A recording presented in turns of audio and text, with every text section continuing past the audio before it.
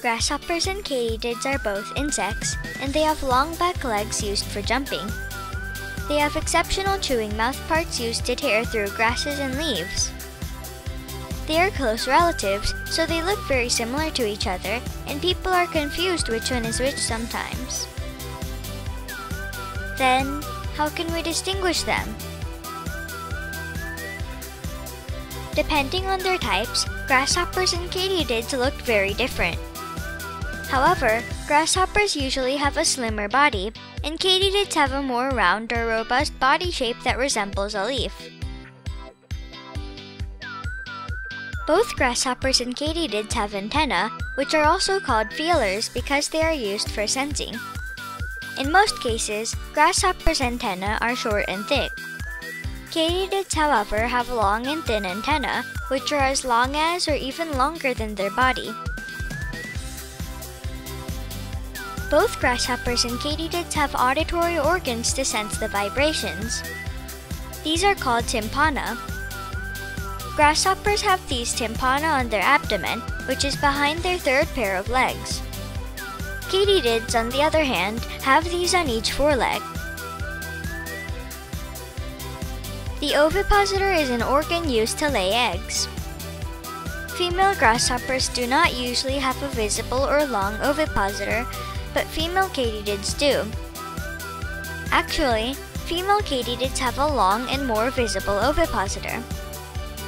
The ovipositor looks different as well, so some look like sickles and some look like swords.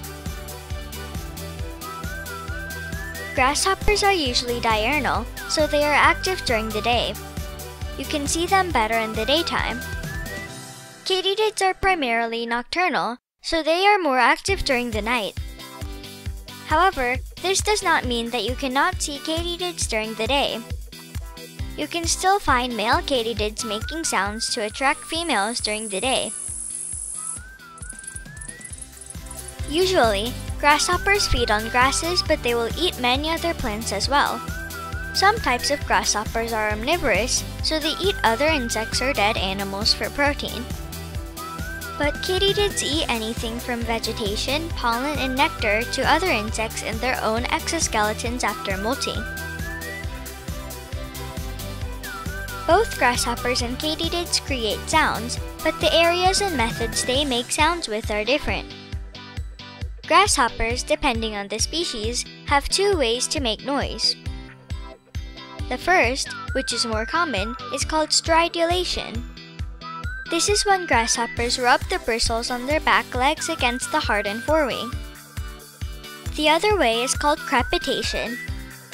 This is the cracking sound, and their wings sometimes make this sound when they fly and leap. Katydids, however, use a different method. They produce sounds by rubbing a special part on their forewings together, which creates vibrations in a more high-pitched noise than grasshoppers can make. Now you know how to tell the differences between grasshoppers and katydids. That's all I have for today. Thank you.